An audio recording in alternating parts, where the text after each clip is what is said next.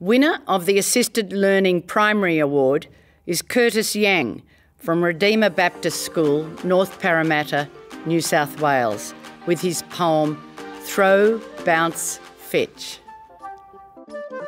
Hi, my name is Curtis Giang, and I am in Year 5 from Redeemer Baptist School. I was excited because that I won the Poetry Award.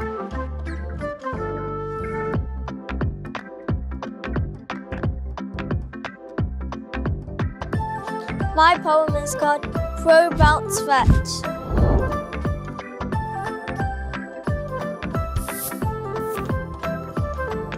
For tennis ball, two but one. Ball left flies for the air. Bounces in the grass and hides. Oh, I can't see it, but my dog can. He dashes over, sniffs in the grass,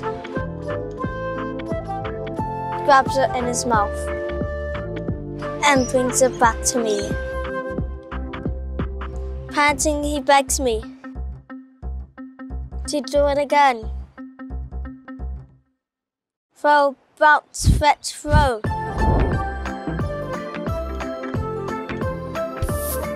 Again and again.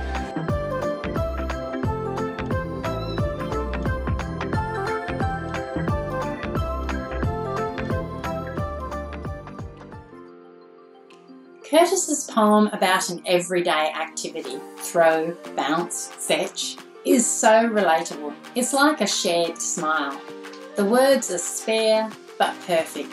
So much so that I felt like I needed to wash my hands after reading it so I didn't get dog slobber all over my laptop. Wonderful work, Curtis. Congratulations.